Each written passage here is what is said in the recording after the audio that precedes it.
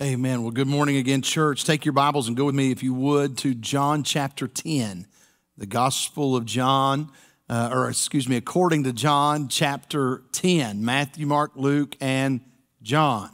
Uh, the, we're continuing in our series through uh, John's Gospel um, that, that we've titled Come and See. It's this idea of this uh, great invitation that is given to all of mankind to come and see. Now, I want to be clear about something with you on the onset this morning. This is not a, an eternal invitation, meaning that um, you have all of eternity to come and see.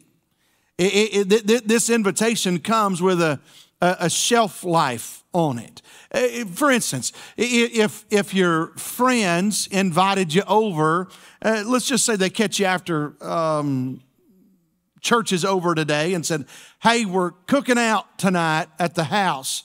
Y'all should come over and eat. Let, let me tell you something. If you show up at their house Wednesday night hungry, ready to eat, you missed the party.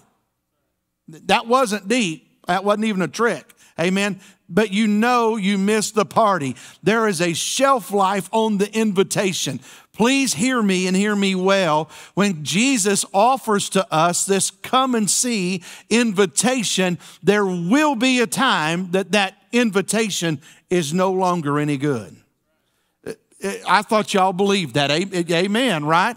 It will run smooth out. I hear people make a statement, and I think I know, I'm to give some grace. I think I know what they're trying to say. I just wish they'd quit saying it. It's never too late to get saved.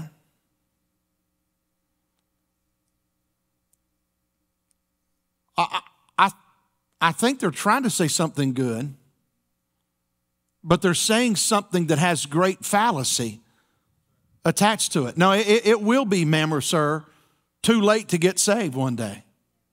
That's why the Bible declares today is the day of salvation. Come to him while he is near, while he may be found. We flat will run out of time. And if you notice that we never die when we think we're going to?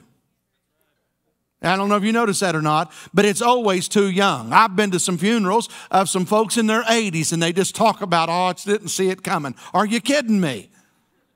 It's coming.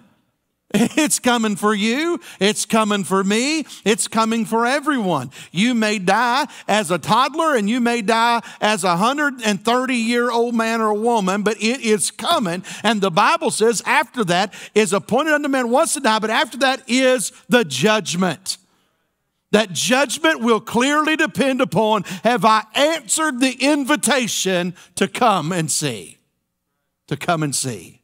Well, that's not my message this morning. I told you I just had some stuff in me today.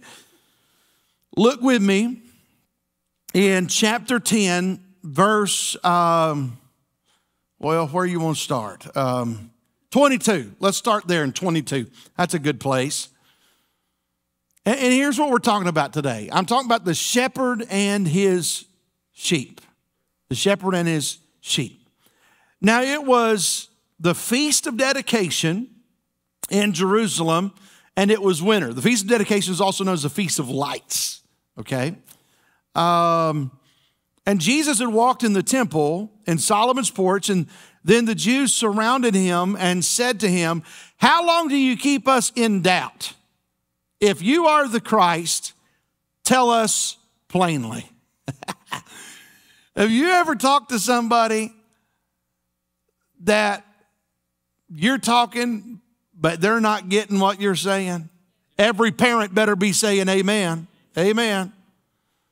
It, it, it's like, how much plainer could I be? I said, don't run in the house.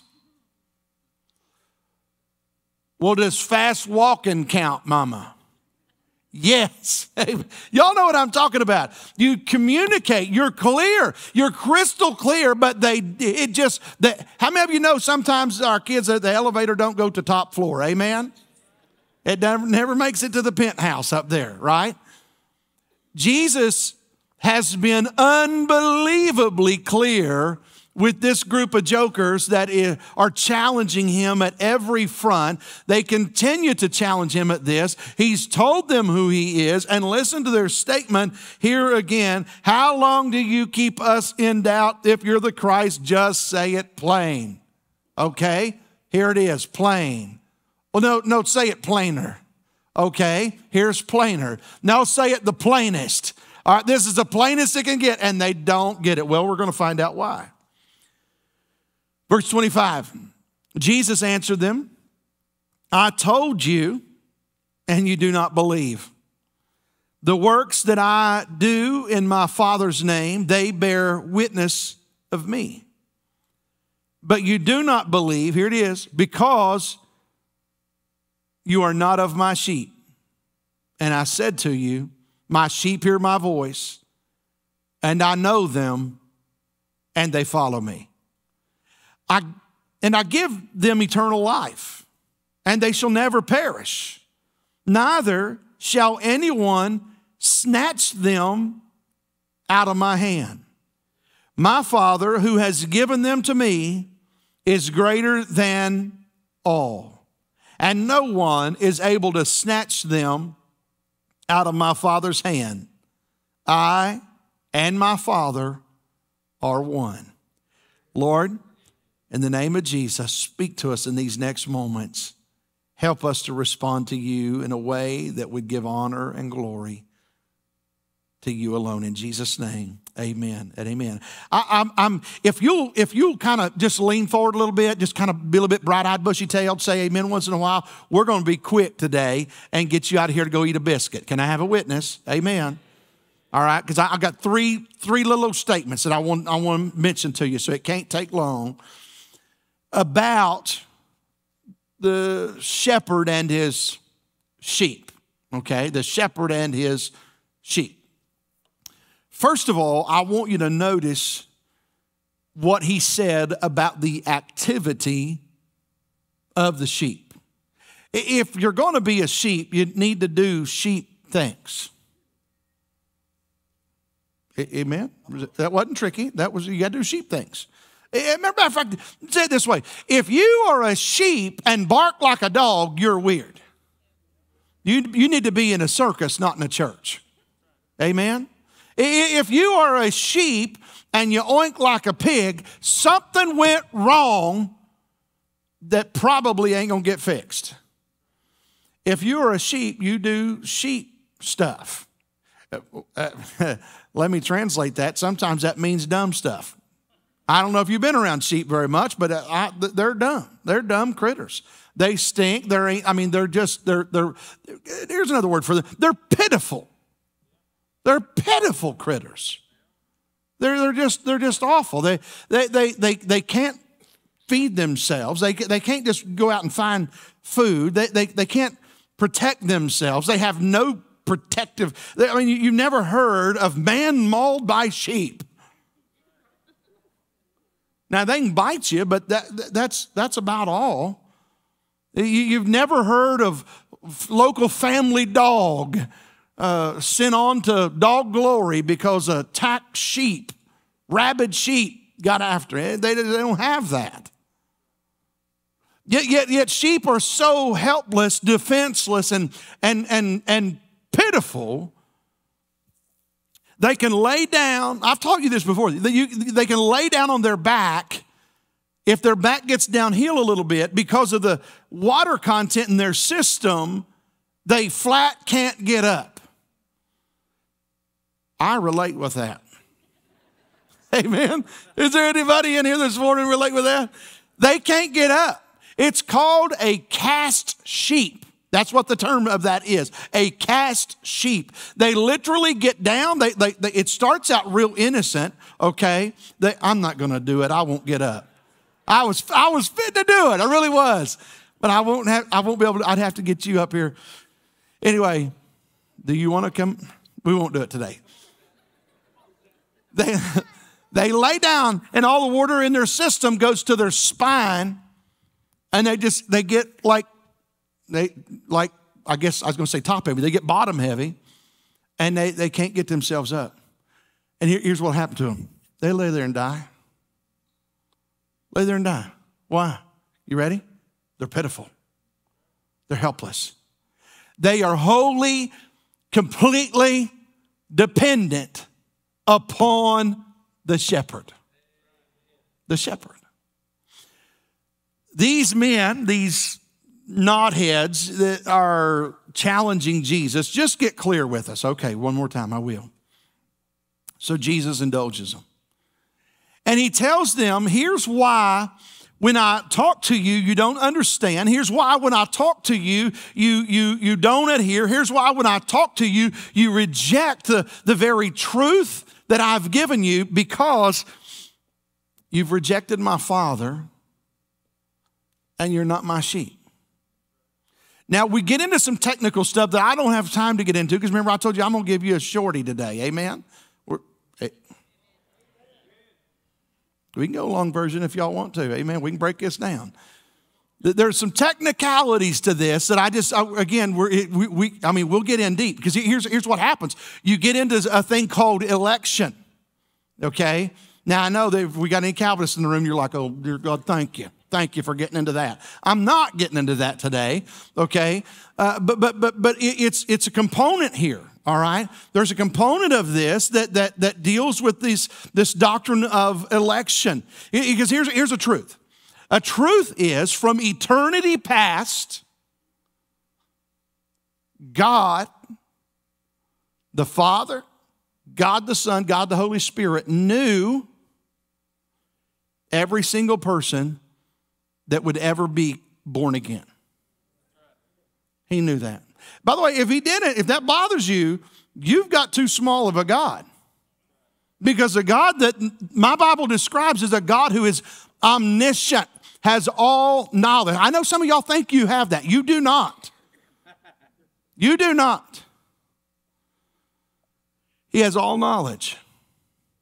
Now, here, can I, can I insert some mystery? Everybody likes a good mystery, don't they? A little, little mystery of the gospel. Did you know that even though he knew that,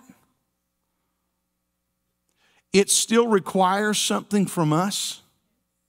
Did you know that?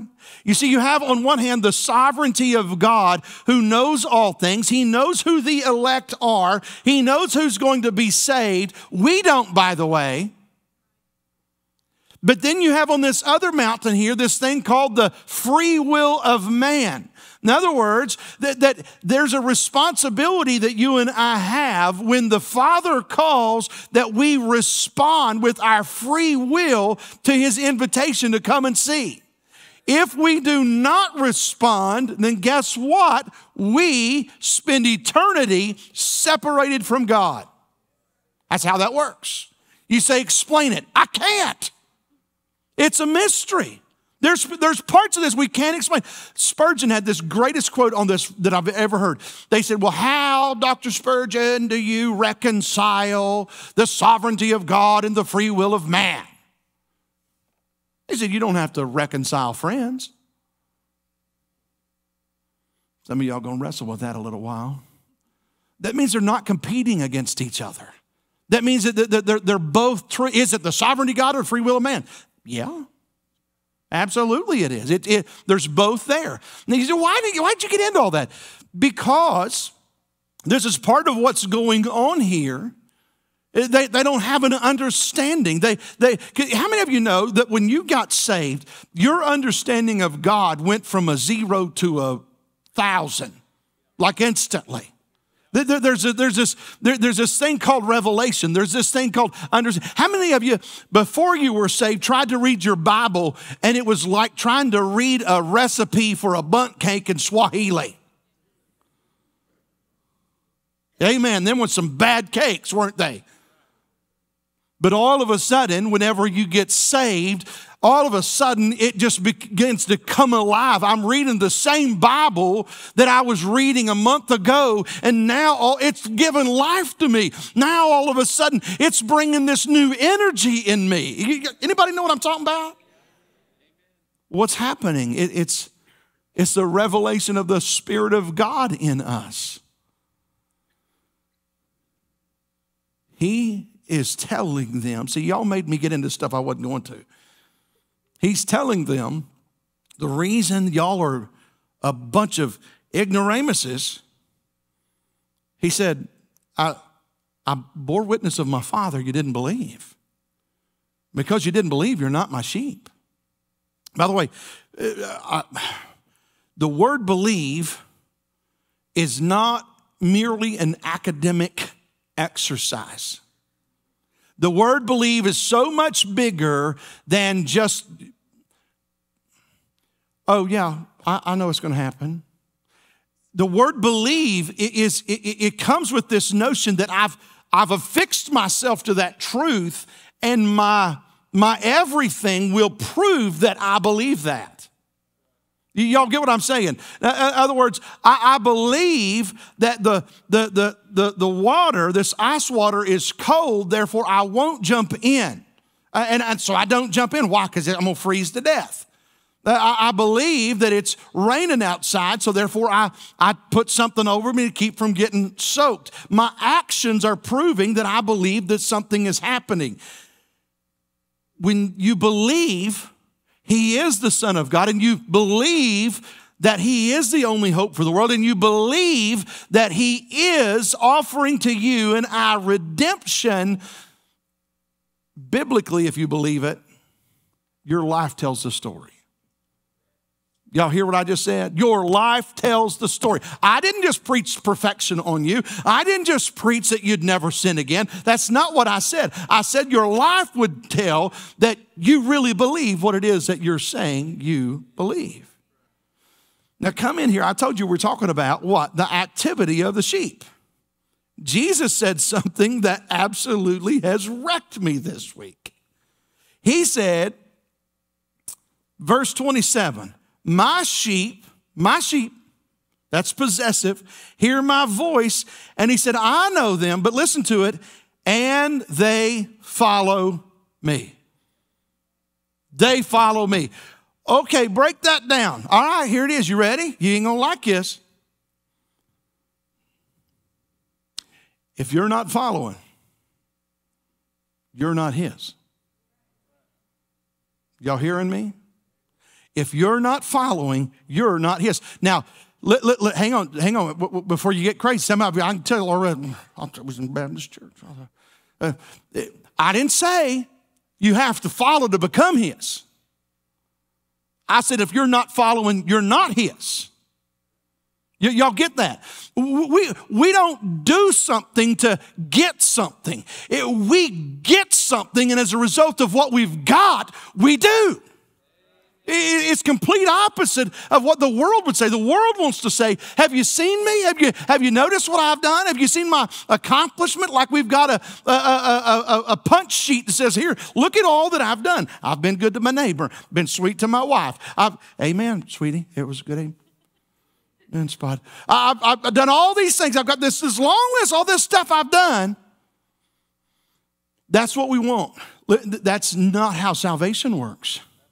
We talked about this in my small group this morning. Man, it was encouraging because this is this is the, the this is part of what our, even our culture in Americana brings to us that, that it's just pull yourself up by your bootstraps, earn your own way, be your own man. That may work great trying to achieve the American dream. It will put you in hell for eternity trying to earn heaven. My sheep hear my voice, I know them, and they follow me. Dear ones,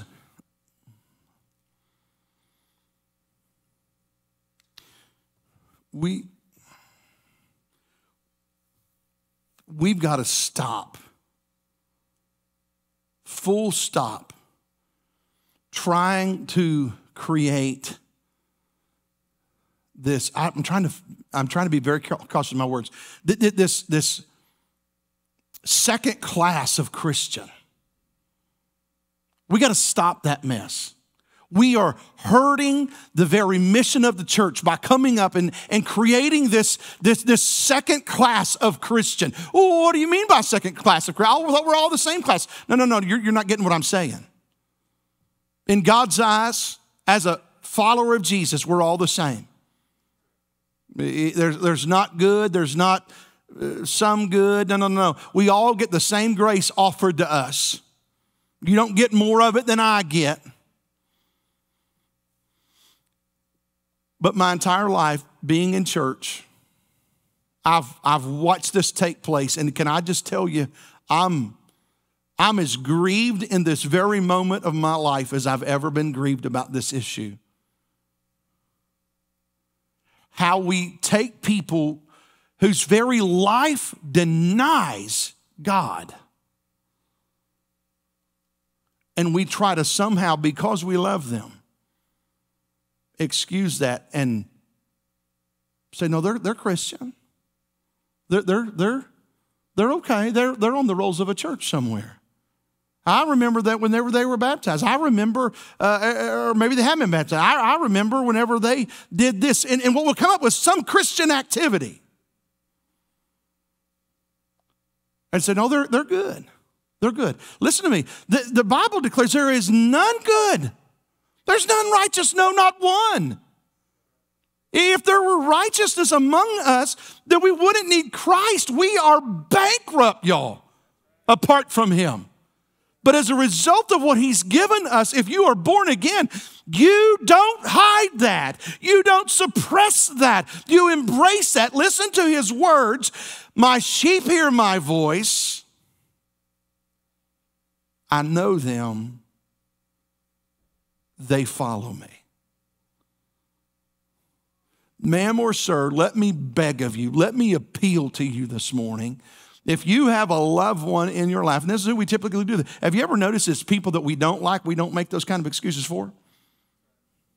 You ever notice that? That neighbor that's under your skin, you, you never make excuses for him, do you? That, that, that, that, that employee that just drives you nuts, you don't make excuses for her, do you? That, that, that boss, you don't make excuses for her or him, do you? You, you never do that.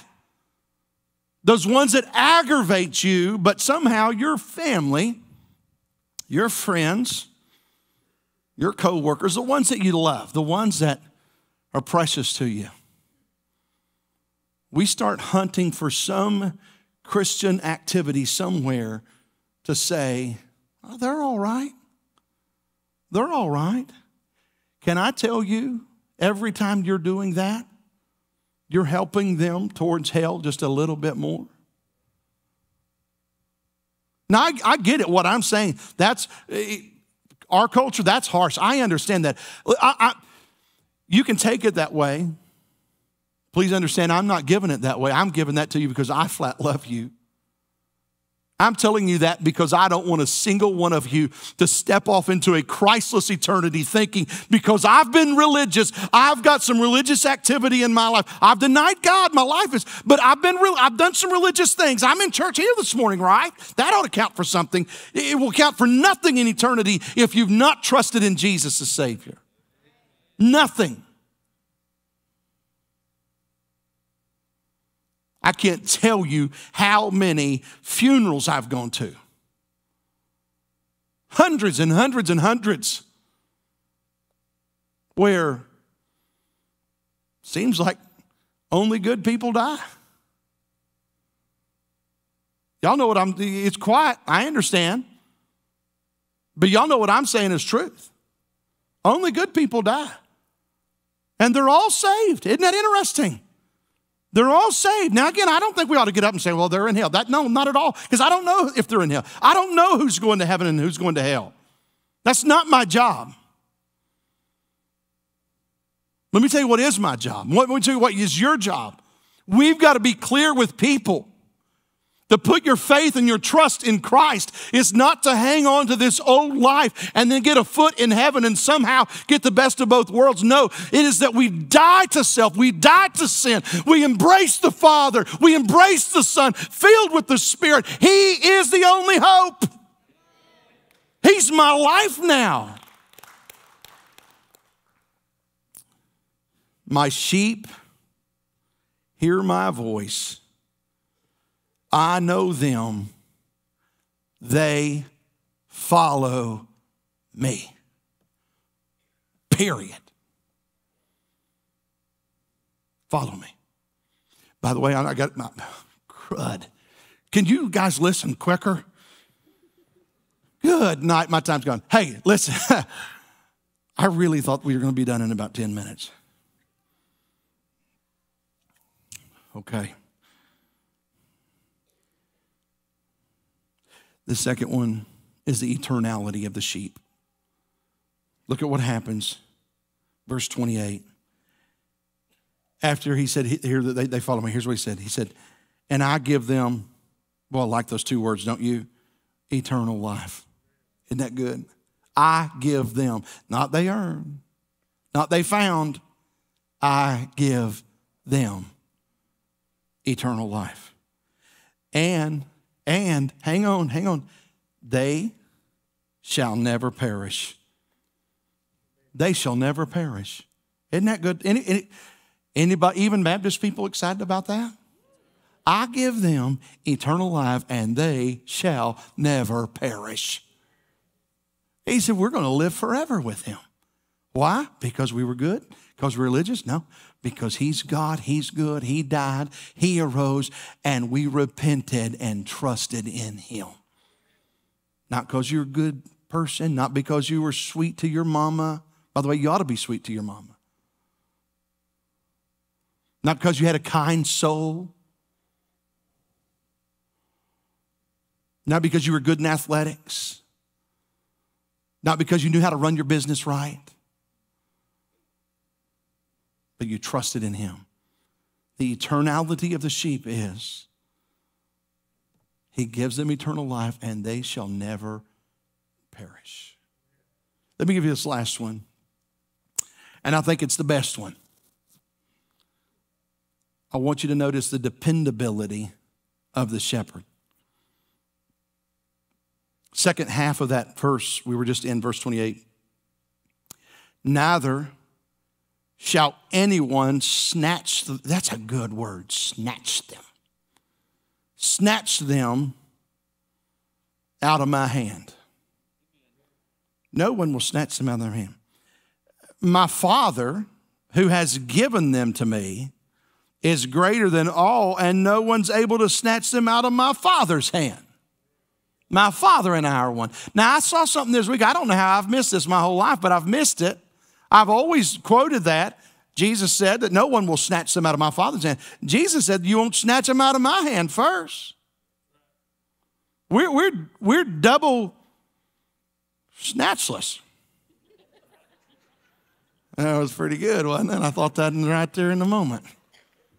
Yeah, man. you like that? Tweet that. Yeah.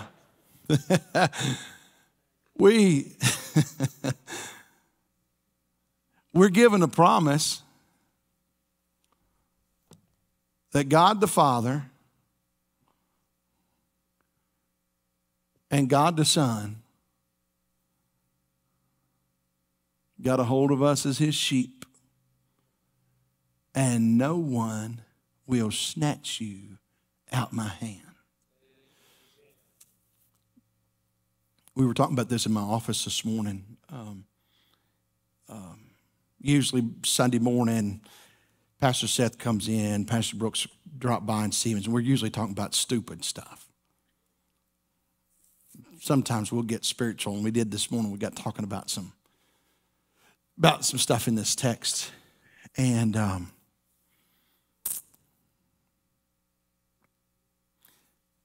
we said we, we, we feel sorry and, and, and not in some haughty, arrogant way, but in a, in a, a way of pity for those that are caught in this vicious circle of, oh, I lost my salvation. I got to go find it. Oh, I got it back, but now I lost it again. I got I got to go get it again. As though somehow you never earned it to start with. Because let me just say this, maybe this will be clear. If you got to earn it a second time, you better have earned it the first time. Well, guess what? You didn't. you don't want what you earned. Why? Because the Bible says the wages, what you've earned, is death. I, I, I hate it for them because they're in this perpetual state of fear perpetual state of, of a lack of peace in their life. I know them, you know them. They're constantly, oh, I don't know if I'm saved. I don't know. Well, why? Oh, I cussed yesterday.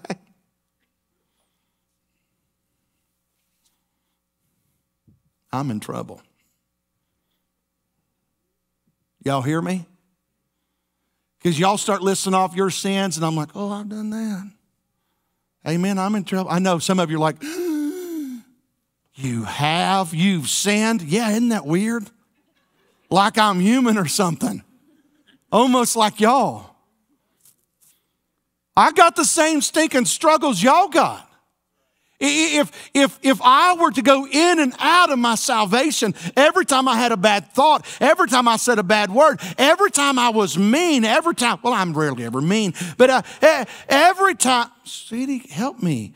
Every time I did something sinful, I'm tell, I'd be the biggest basket case there was in the room. Well, preacher, what holds you together? I'm glad you said it because we're going to end right there the fact that my security is in the highest one. The highest one. There's not a God greater. If there were a God greater, then I'd be scared about, okay, I know you said that nobody gonna snatch me up, but he bigger, he could, you know, he could snatch me. Because this idea of snatching is like it just come out of nowhere. It's like a, a, a, a, mama that's walking through Walmart and that little toddler starts wandering off. You snatch him up. Amen?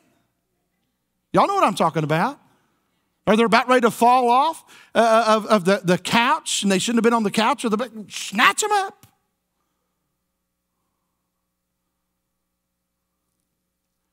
He said, Ain't nobody snatching you. Ain't nobody catching me off guard. Why? Because I got my eye on you. You're in my hand. You're, you're secure. I don't know who needs that. Maybe I'm just preaching to me this morning, but I'm thankful this morning I'm secure. Even on my bad days, maybe especially on my bad days, when I don't, yes, I'm trying to quit. You ever not feel saved, yet you know you are? That's the greatest gift in the world because my salvation isn't based on my death, it's based on His. Based on His. Activity of the sheep, they follow. Eternality of His sheep, eternal life never perish. Dependability of the shepherd, no one snatches my sheep. You're secure.